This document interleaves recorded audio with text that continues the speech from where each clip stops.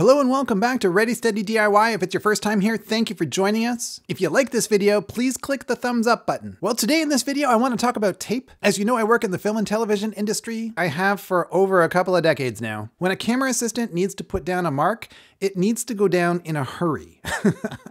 there is no waiting around to watch someone pick away at a roll of tape going pick, pick, pick, pick, pick, pick, pick. You cannot do that.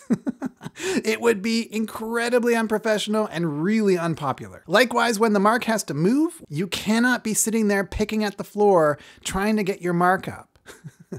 It just doesn't work. You gotta have a more efficient method than that, and camera assistants over the years have developed a way of tabbing tape that is super efficient. And today in this video, I'm gonna show you that tip because I think it's not just camera assistants that benefit from this. I think the average homeowner or DIY person could really benefit from a quick and easy way to tab tape every time to save you from the aggravating and irritating pick, pick, pick. you will never have to pick at your tape again if you do this one simple thing. so I'm going to show you. Let's get going.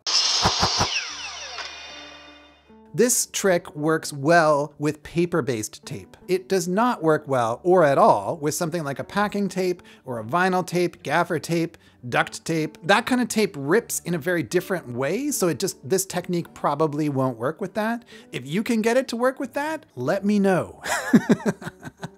but for now, let's just say this technique works with paper tape of a variety of widths and a variety of thicknesses. So every camera assistant learns this trick pretty early. Basically what you do, I'm right-handed, so I hold the roll in my right hand. I, I grab the end of the roll, which already has a tab on it because I put it there the last time I pulled a piece off. I pull the piece of tape out, I put my right index finger under the piece of tape, so now it is touching the sticky side of the piece of tape.